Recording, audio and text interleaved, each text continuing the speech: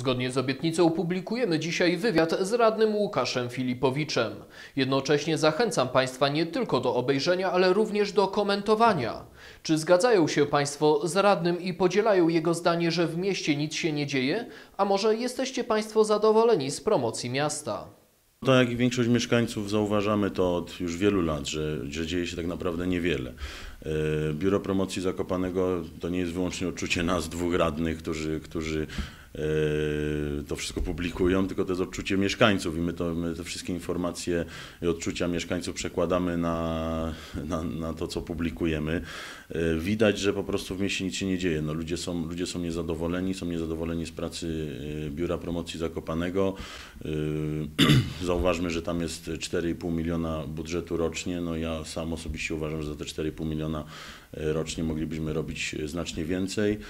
Zakopane tak naprawdę kilka lat temu jak gdyby umarło w mediach. No w ogóle go, w ogóle go nie widać. E, Jedyne co widzimy, e, chyba każdy z Państwa to obserwuje, no to e, ten PR jest czarny dla Zakopanego.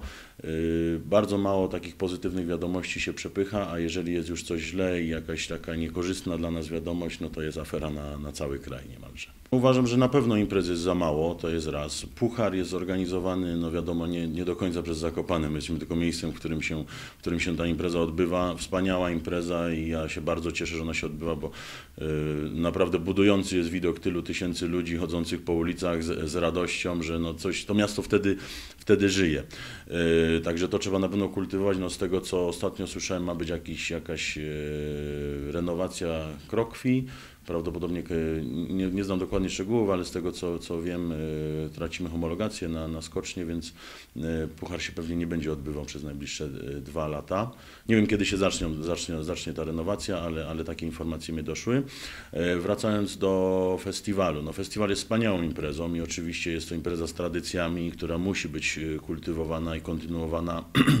Tylko uważam, że no, festiwal kosztuje nas e, milion złotych. Jest, jak wiemy, odbywa się w tym w, pocyrkowym namiocie. Uważam, że tak wspaniała impreza, e, szczególnie zważając na to, e, jakie mamy obiekty do dyspozycji, uważam, że tak wspaniała impreza powinna się odbywać w innym miejscu. No, powinniśmy wykorzystać, no teraz technika poszła do przodu, my od 10 lat chyba nie zmieniliśmy formuły tego festiwalu.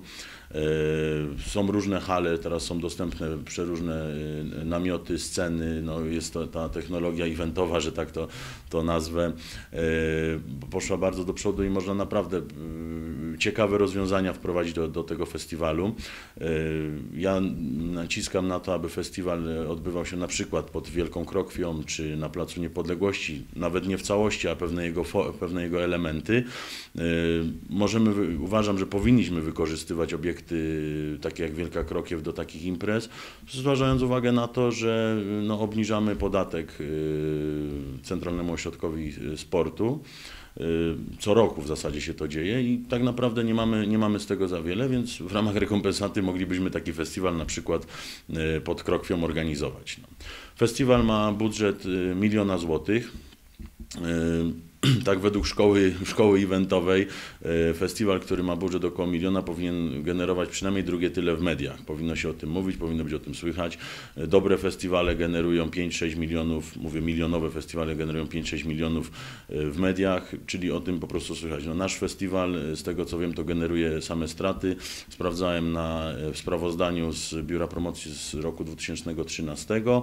E, Festiwal no, przy milionowym budżecie zarobił tam niewiele ponad 100 tysięcy, no więc pytanie, czy to jest sztuka organizacji takiego festiwalu, który, który ma swoją tradycję i ma naprawdę ogromny potencjał. Biurze promocji na pewno potrzebna jest reorganizacja i zmiany, bo jeżeli przez tyle lat z budżetem 4,5 miliona złotych da się zrobić niewiele, bo tak jak Pan wspomniał, no mamy jeden dużą imprezę, czyli festiwal, potem mamy kilka małych kameralnych imprez tak naprawdę, które są, no, są atrakcją, wiadomo, ściągają klientów, są, wzbogacają tą ofertę kulturową e, Zakopanego, ale no to jest dla, dla odsetka ludzi, tak, dla kilkuset, e, powiedzmy rocznie, kilku tysięcy osób. E, Uważam, że, że z takim budżetem moglibyśmy mm, zorganizować zorganizować dużo więcej, można byłoby zrobić naprawdę y, ciekawe, ciekawe imprezy i, i tą ofertę znacznie wzbogacić. Y, Biuro nie pozyskuje wiele sponsorów, nie zajmuje się zupełnie tym. Ja uważam, że przy współpracy y, ze sponsorami, a nawet nie przy współpracy, a przy, chodzi o to, żeby nie stawiać zaporowych warunków, jak to do tej pory było. Sam znam wiele osób, które zajmują się eventami w dużych firmach typu kompanie piwowarskie, inne duże, duże instytucje, które by te imprezy chciały robić w Zakopanem, no ale warunki są, są zaporowe. No to jest to, co się mówiło od tylu lat o, o Sylwestrze, że no chętnie zorganizujemy Sylwestra, no ale dajemy takie warunki, że żadna firma nie jest w stanie temu sprostać. To samo się dzieje z, z eventami. No, każdy z Państwa na pewno pamięta, jak jeszcze 10 lat temu działo się. Cała zima, dosyć, że mieliśmy ogromną, znaczy może nie ogromną, ale jak na tamte czasy bardzo bogatą e, ofertę narciarską, no to jeszcze mieliśmy to, tak jak się to teraz nazywa, apreski, y, czyli mieliśmy imprezy. No cały czas każdy z nas pamięta te namioty, te żyjące, również żyjące stoki, olimpiady, nieolimpiady y, różnych firm. Y, Cały czas się działo. No, to się obcięło 10 lat temu. Budżet jest y, z biura, biura promocji jeszcze większy niż, niż był i tego po prostu, y, po prostu nie ma. Uważam, że przez cały rok powinno się coś dziać. Jeżeli już to, co mówiłem, jeżeli już y, nie mamy tej oferty narciarskiej, no bo nie ma się co kłócić, cały czas pretendujemy do miana z, z zimowej stolicy Polski, no musimy o tym zapomnieć niestety, bo y, nie mamy tego narciarstwa. No, trzeba przyznać, nie ma się co oszukiwać, nie mamy tego narciarstwa.